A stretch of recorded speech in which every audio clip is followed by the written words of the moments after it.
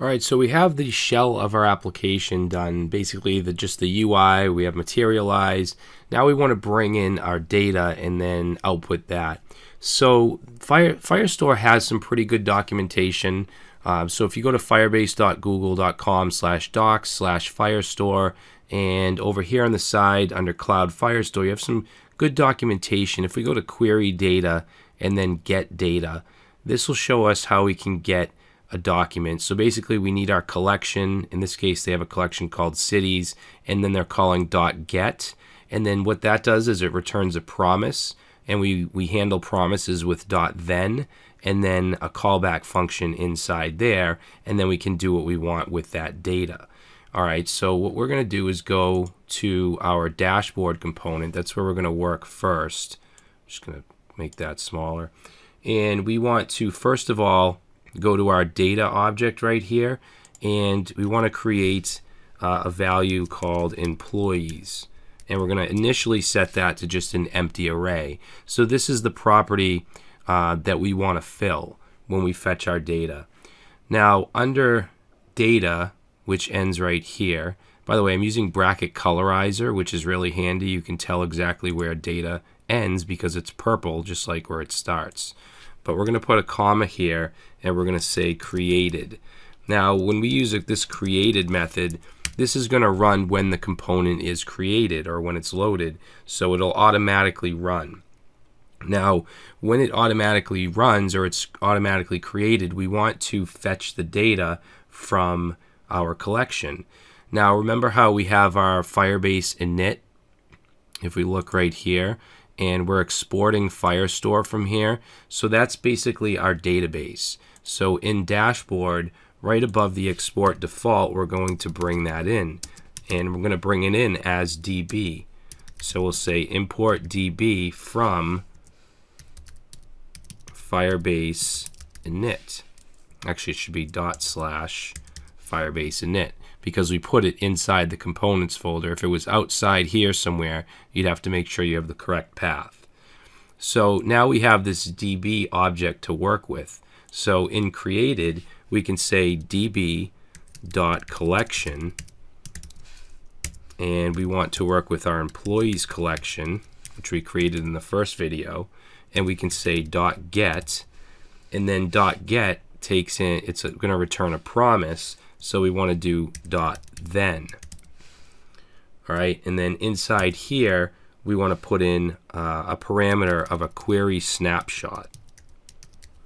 Okay, so query snapshot, we're going to use an arrow function here. So we're going to go like that. And then we want to take that query snapshot and we want to loop through. We want to use dot for each okay? And then for each takes in a callback function. I'm going to use an arrow function here as well. So I'm going to just say doc and then set that to a code block. And then in here is where we want to take our data okay? We want to create a variable called data and set that equal to an object with all the data that we get from the document that's fetched from our Firestore so this will actually run right away. So before I do any of the, the, the data, let's just console.log doc and see what we get. So if I save this and let this component re-render, we get this document snapshot. And that's not what we want. What we want is actually in the prototype for this object, and it's a function called data. Okay, this function will give us the actual data. So if we go back up here and say console console log doc doc data like that, which is a function or a method, now you can see it's actually getting each each object. So we can see the name, the employee ID, all that stuff. Uh, now, if we want to get just the ID, the Firebase ID, we can get that with doc.id. So if I save that, and just go down here, you'll see it gives us each ID. So we can get the Firebase ID like that, but the rest of the fields we need to do doc.data. So just remember that, and now we'll create our data object down here. So this actually needs to be formatted with quotes like this, and then ID, and we can set that to doc.id. Remember, that's the Firebase ID. Then we want our own employee ID that we created. So we'll set that to doc.data.employee ID. Okay, and then we'll do the name. So the name again will be doc.data.name. And we want the department. That'll be doc.data.dept. And then we want the position.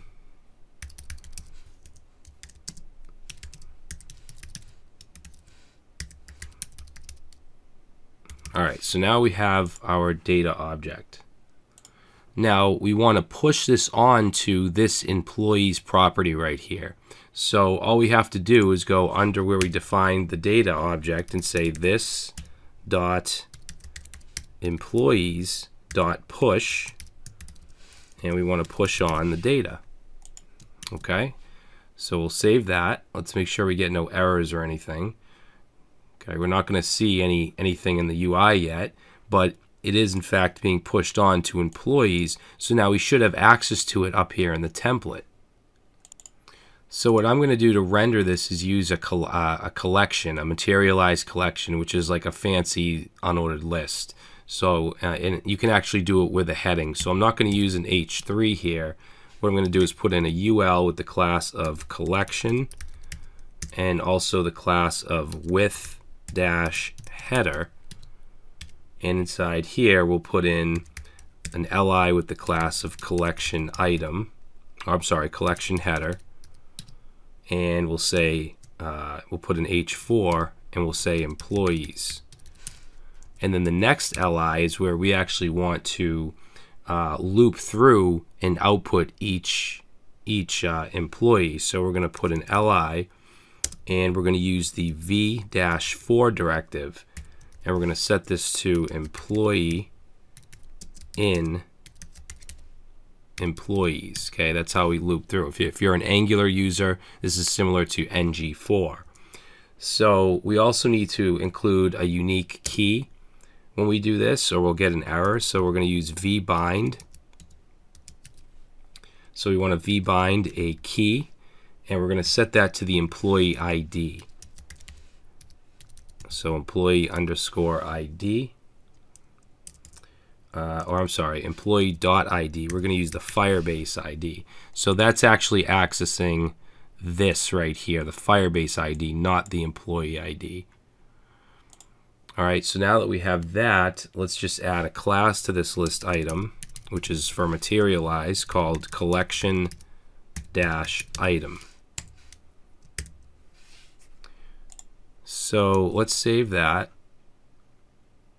And let's see. Oh, did I not put? I don't. I didn't put an ending li. Okay. So now this li, you can see there's three empty li's generating, and there's three objects in our database. So we just want to go inside this li and now put what we want to put in here. So let's say employee dot name and now we're getting each name and this error is still down here but if I reload that should go away alright so we have the names now I also want to put the department right here on the side uh, actually I want to put the ID and the department so I'm going to go ahead and put in here a colon before the name and then we'll put our double curly braces and we'll say employee dot employee underscore ID. So that gives us the ID. And then before that, I'm going to wrap, I'm going to create a div with the class of chip, which is a Materialize class, which is kind of like a label in Bootstrap. Just gives it a background and some padding. And in here, we're going to put in the employee dot dept. And now you can see we, we get each one's um, department. Now, right now, these aren't ordered. I want these to be ordered by department. It, it looks like they are just because of the way that, that we did it. Um, but they're not. If we want to order them by department, we can go down to where we did our get. So right here where we did dot get and then we did dot then. Right before the dot get, we can say dot order.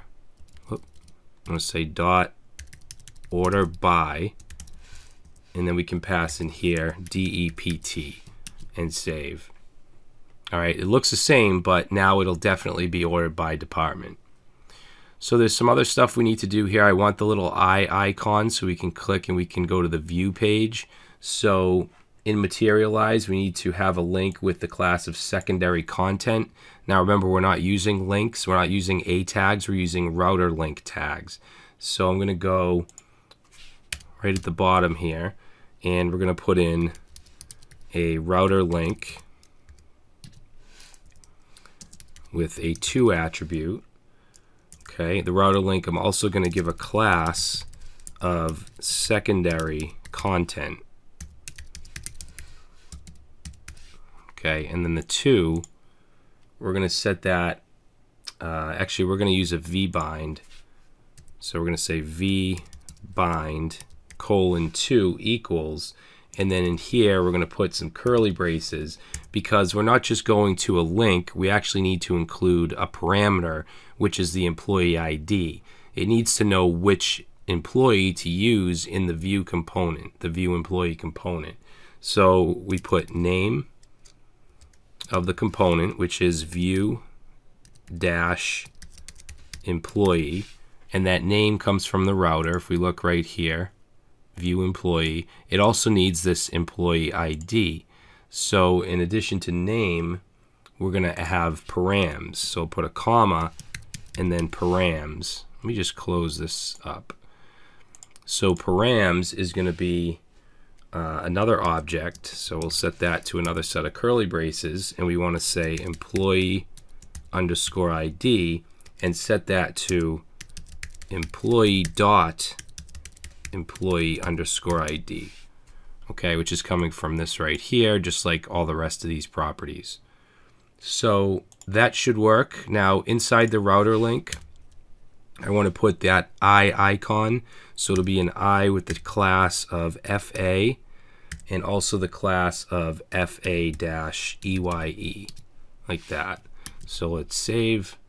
And now we have our little icon. Let's click it and it takes us to slash and then whatever that ID is. So Sarah has the, the employee ID of 002. If I click that, it brings us to 002. Now we haven't added any markup. We haven't added a template here with that info. What we're going to have to do is get this from the from the URL and then make another fetch to Firestore with that ID to get that that employee info. All right. So we're going to go ahead and do that in the next video.